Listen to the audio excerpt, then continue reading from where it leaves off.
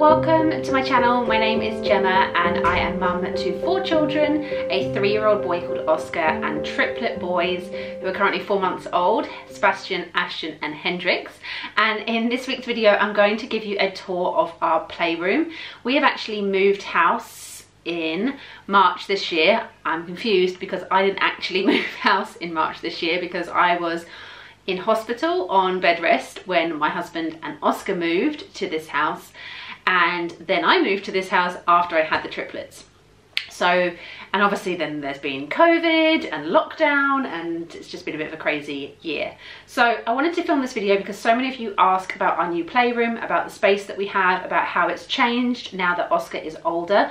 I've actually done, I think I've done two videos about our playroom. I did a maybe three. I'll link them all in the description box below, but I've done um, a playroom when Oscar was a year old, so I did a video about that.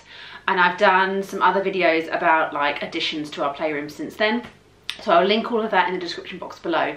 But yes, so this is a playroom designed for our three-year-old mainly, but our babies do also use this space as well so it needs to be functional for all of them so i'm going to give you a quick tour around our playroom I'm not going to include any of the storage in this video. I will do that in a separate video just because it will just take too long to put it into this video about how I store and rotate toys. But if that is something that you're interested in, keep an eye out on my channel because I will be doing a video all about our toy storage and how we do toy rotation. But in this video, I'm going to just give you a quick tour about what's in our playroom, what's how it's set up and how we use it. So as you come into the playroom, this is your view. So you've got this down here and then this whole wall is storage. These are from Ikea and there's some bits on the top as well. Uh, so this is, and sorry, this is where we also keep our Montessori mobiles hanging just on the window there. Um, so this will be a whole separate video, but just so that you know, that is all the toy storage. And then down here we have a Pikler and then I'm gonna show you all round the rest of it. Okay, so first up, front and center in our playroom, right in the middle of the floor, is our climbing frame, which is called a Pikler. Ours is from the brand Ette Tete, and this is their Mopitri modifiable Pikler frame, which means that it's not just a triangle like your conventional Pikler, kind of this shape.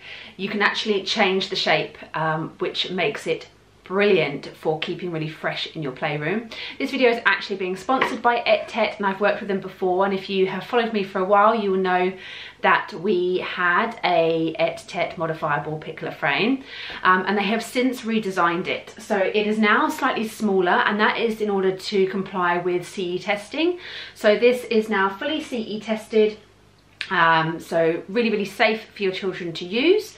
And it comes with a slide and on the other side is also a ladder.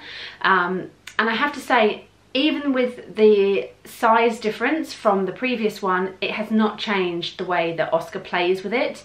He will still use it exactly like he uses the other one. It makes no difference to him whatsoever.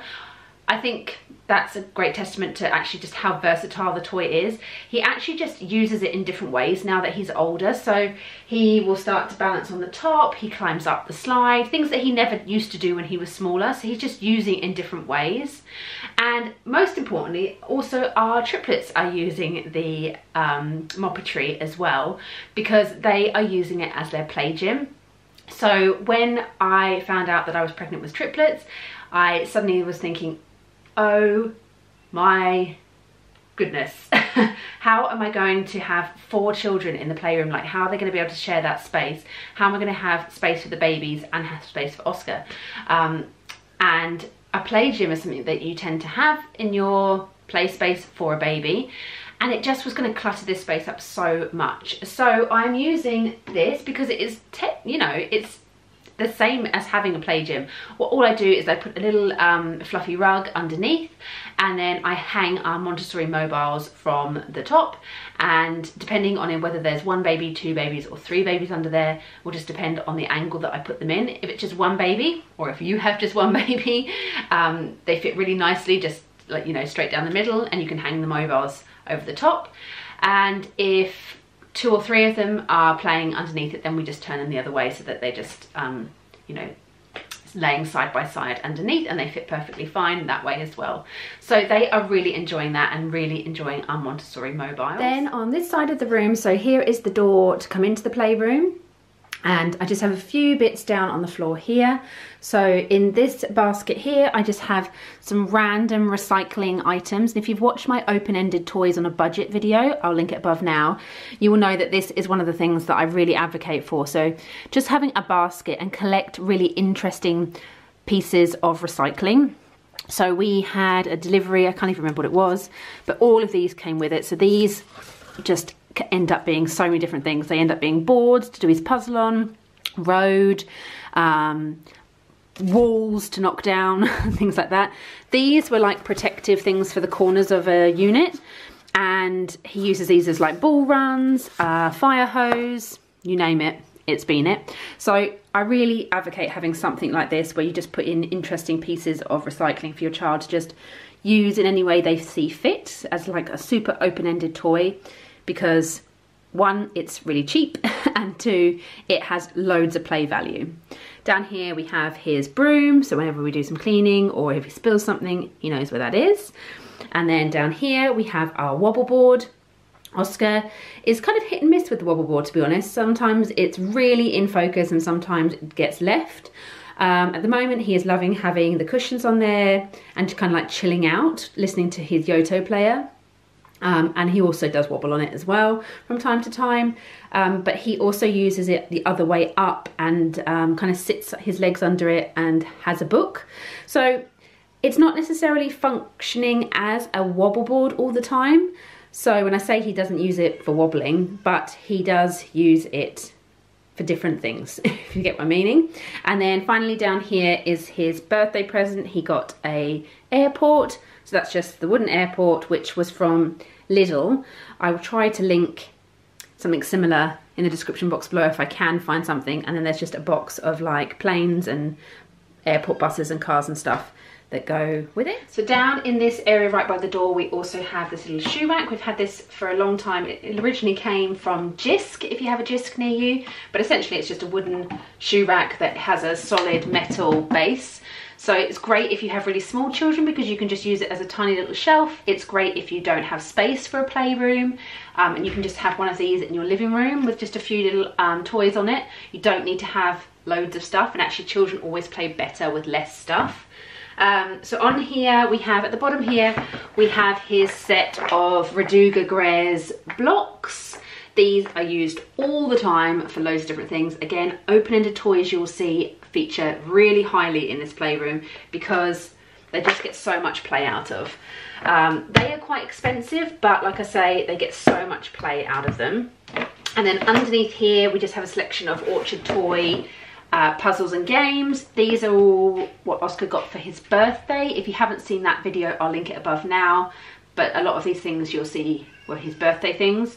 So he had this aeroplane 30 piece puzzle he has this Let's Go Lotto, uh, which is like a memory game. And he also has uh, Orchard Toys shopping list, which basically is a game where you have a little shopping list and a trolley and you turn all the items upside down and then when you turn it over, if you have it on your shopping list, you get to put it in your trolley. It's really simple, but I would say really great for three-year-olds. And then on top, it's just a couple of other activities. This is kind of like our only like real like tray Montessori activity out at the moment, which is just um, using locks and keys. So here is some locks, padlocks, and here we have a set of locks I got from Amazon. I will link everything in the description box below. Uh, our Grapat rings, and essentially all he has to do is find the right colour, unlock the lock, and stick it on this little spool. Um, and I have done an Instagram post all about how you can change this activity up to make it easier and how you build as the skills progress. So if this is something that you're interested in, head over to my Instagram at The Way We Play and have a look for this image and you'll see how this has progressed to this stage because this isn't how it started. He started with one lock and one key and it's built up to this.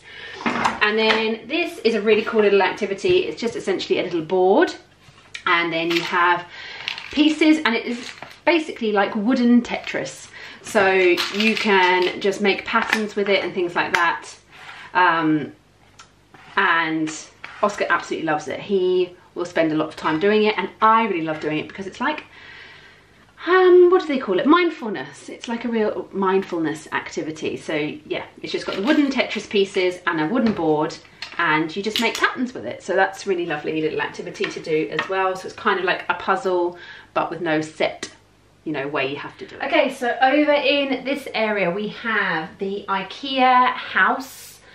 I think it's actually a shelf in IKEA, but I used it originally as a bookshelf and now it is a doll's house. The doll's house furniture was from, I think, Aldi or Lidl at Christmas.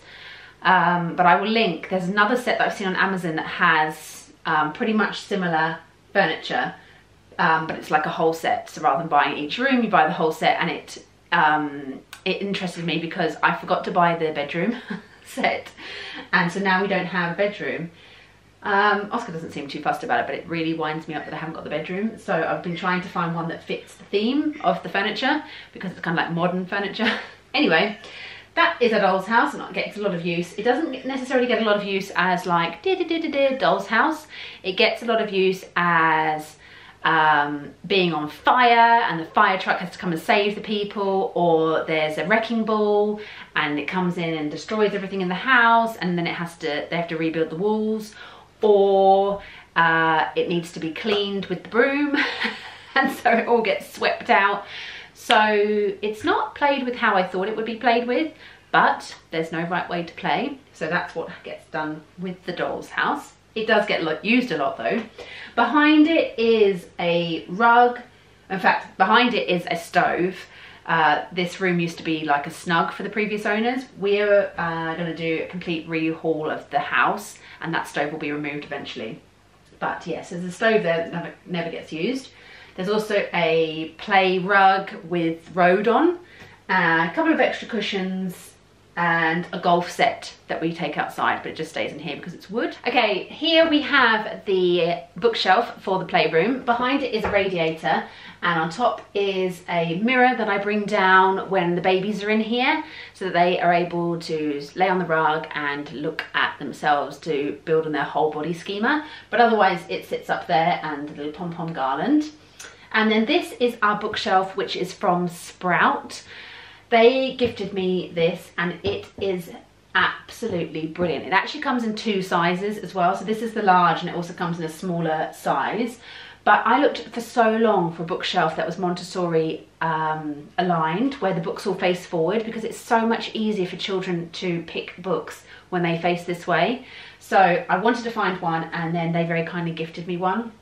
Um, but yeah, like I say, this is used all the time. I rotate the books quite frequently. At the moment, Oscar, you probably have a, a guess, is obsessed with dinosaurs, the world, oceans, weather, and vehicles, of course. So that's probably why you're seeing those kind of books. I have on my Amazon store all of the books that we love. So if there's anything that you're thinking I would be really interested to know about, check my Amazon storefront. Um, I have a whole section on our books as well. And then finally, there is our cubed shelf. This is what you'll probably see in most Montessori playrooms and it is useful insofar as in Montessori it's really helpful to have one item really distinguished um, from the other things in the playroom so that your child can, you know, see what activity is there, take it out, play with it and know where to put it back, rather than just having like boxes of dumped toys. You do not need a cubed shelf though. You can have this as like a bookshelf, but it just makes life quite easy. But what I would say is try to avoid the boxes that kind of fill the space because for young children particularly they can't see what's inside it and so you end up having that dumping thing going on where they have to kind of pull out the whole box dump it out and find what they want. Uh, if you have smaller baskets that fit kind of half the space they can see inside already as to what's there and pick out and you tend to get less dumping. But like I say you don't need one of these shelves to have um, the perfect playroom but it helps if you want to keep things kind of neat and tidy. Okay, I'm gonna whiz through so that this video isn't excessively long. but in this section here, we have the Plan Toys Rocket. Oscar has had this for so long and it has lasted and been interesting for him for so long because it not only, you don't only have to place these, but you also, there's like internal pieces that you also have to place as well. So it's lasted him a long time because it's taken him a long time to actually master the skills. He's still not completely confident, doesn't have the stamina to do the whole thing. So it's still out, it's still used. Um, here we just have these little box shelves and on here we have um, some stacking dolls, but animals. Uh, if your child is in the containment schema, having one of these is fantastic. If you don't know what the containment schema is, I'll link a video for you. But essentially, if your child is loving to put things in other things, things in boxes, um, they're probably in the containment schema and this is a great toy to have. Oscar um, loves it, has loved it for so long. Um, it's had a bit of a battering. Poor Panda's lost an ear, but I always find it at the end of the day made up. So it's great and it's always something to play with. Up here we have some lolly sticks with Velcro. These, again, are just like a little DIY open-ended toy. They can be made into shapes. They just get basically used for different things. They get taken around in his trucks for rubble or whatever. But having like little things that are open-ended could be anything in your playroom. And I, I guess these are really cheap as well. Um, is really handy to have. And then here we have our Yoto player. I have done a whole video with Yoto. I actually worked with them on that video. This video is not sponsored by them, but um, this gets used every single day. It has a clock, which is amazing, and basically it is a screen-free uh, audio speaker. You get these cards, which have different stories or songs. So there's Roald Dahl, there's Tabby McTat, there's also um, music ones, there's also podcasts, radio stations as well and so it's a way for your child to independently access audiobooks and music. And it's all completely safe because it has no ads. It has no screen. It has no microphone uh, no camera. So you can be rest assured that your child is safe when they're using it. And it's really simple to use. So basically this is volume. And you can set a parental um, what do you call it a parental thing to say how loud you want it to be able to go. There's an app that a, a parent app that goes with it. And then this side kind of skips the tracks if you turn it. So if you're listening to Charlie and the Chocolate Factory if you turn this it will skip the chapters. If you're listening to a song it will skip the songs. And then if you press it you get a little podcast designed for children. Press it twice and you get a children's radio station. It is incredible. So if you're looking for something for um, a young child as a present, um, I would really recommend a Yoto player. I actually have a discount code as well, so I will pop that in the description box below. It gets you £10 off. Um, that's only available for UK residents, but it's wonderful. And they do ship worldwide, I will say that. So that's that. Here we have another little activity. Oscar is starting to pay um, an interest in numbers, and this is the activity that I've got out for him at the moment to support that. This is not being pushed on him. It's not like I'm forcing him to do this every day. We do it together. He does it on his own. Um, and I will link it in the description box below. So essentially you have the puzzle pieces for the numbers. Um, so they go in. Then there's like an additional fishing game. I'm not too bothered about the fishing game. Um, it has like little fish, it has the numbers and they go in there as well. And there's also there's also the fishing rod, so you can create a whole different game with that. Um, but I'm not so fussed about them being on here. But what I do like is the number and then these little spokes and these rings go on. And because of the size of the spokes, you only are able to fit this many on. So only seven fit. So it's great for self-correction, so a child can't make a mistake like they have to have seven on there to fill it. If they have eight, it's, you know, falls over the top. If they have less than seven, then they have a gap. So it's a really great resource for starting to learn one-to-one -one correspondence and also recognizing the actual numerals. So I really recommend that. And then over here we have our Grimm's Rainbow and Grimm's Semicircles. These get used all all the time. Um, I do get people asking um, that they have a rainbow or they've bought a rainbow and doesn't get used. What I would say is it might be a case that if your child isn't used to open-ended toys, that they might not know how to use it. Like they might be a bit worried, it might look a bit too neat.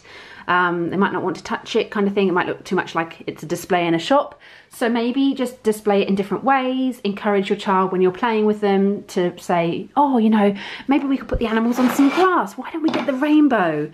And, you know, then you could put your cows on the grass. You know, come up with different ways that they can use it and feel confident that it could be different things. Like, oh, let's have some water for the ducks to swim in. Or, you know, different things. Whatever you can think of, children can think of 10 times more different things to use for it. So that is that. Okay, first basket is a set of plastic dinosaurs. Oscar got these for his birthday. He is dinosaur obsessed and these get used a load with all our open-ended toys. So with these and some of the other things I'm going to show you, with the recycling, with the blocks. So if you've got open-ended toys, having people animals, vehicles to go alongside really supports play value. Then in this one is vehicles. Um, at the moment, they've been rotated so that they include his new ones that he got for his birthday. He wanted buses for his birthday and his auntie bought him a whole set of buses. So they're in here and then I just added some similar sized vehicles to go with. Um, there's always a basket of vehicles. This basket is so battered because it is our vehicle basket and it's always out. Then here we have Magformers. These are essentially just um, plastic shapes that magnetize together to create anything that you'd like. And we also have the set that comes with the wheels so you can make um, you can make vehicles. And there was also like a little booklet that comes in the pack if you'd like to like follow um, a design. These get used all the time with these, um, like a combination of stuff. Over here is something that's always out, which is balls that are appropriate for throwing inside and bean bags. Again, because they're appropriate for throwing inside. If you have a child that loves to throw stuff and you're getting really frustrated, like if they throw hard toys, get them some bean bags, get them some balls that they're able to throw and direct them to those when you feel that they're in a throwing phase, which is called a trajectory schema. Again, if you don't know what that means, I'll link it above. But if your child is into throwing, moving, climbing, they're probably in the trajectory schema and having those in your playroom is just essential in my eyes. Down here is bristle blocks. We've had these since Oscar was, I don't know, six months old. Um, I keep thinking that they're going to go out of fashion with him, but they don't. These essentially stick together in any way. So unlike something like Duplo, where you have to kind of stick it more precisely, this is great for younger children because it sticks really easily together. Oscar is really creative with these. He turns them into so many different things, from food to vehicles. There is wheels as well. Um, so they never go away because they're just used all the time. Um, yeah, so that's the bristle blocks. Down here we have a fire engine. He got given this as a gift. Um, it is noisy. It's not something I would buy, but he loves it. So it's there. And like I say, it gets used with the doll's house quite a lot when there's an emergency. Down here is a set of musical instruments. I like having musical instruments out because they tend to not get used all the time, but like if Oscar is listening to some music, he'll then grab some musical instruments and play along. So they stay out. Down here is the Melissa and Doug truck, trailer, backhoe loader. That's kind of self-explanatory. It's really nice and chunky though. So really like this. This was a gift for his birthday again. And then finally, we have a basket of BioBuddy, which you might say that looks like Duplo, which you would be correct. But this is BioBuddy, which is from Safari Limited and is plant-based. So this is all made from sugarcane, so helping the environment a little bit. Um, it is completely compatible with Duplo as well, because we do have some Duplo cars. And the BioBuddy works, you know, will stick to it. But um, yeah, this is BioBuddy and it is plant-based. If you're thinking of being a bit more environmentally friendly, they produce plant-based Duplo dupes. Thanks for watching this week's video. I really hope you've enjoyed having this whistle stop tour of our playroom. I will put all the details of the Ettet Moppetry Piclet in the description box below. I'm really um, a massive thanks for them for sponsoring this week's video. If there's anything in this video that you are interested in, I will try to put all the links in the description box below um, for those items or similar items if I can find them. So thanks for watching guys and I will see you again soon. Bye.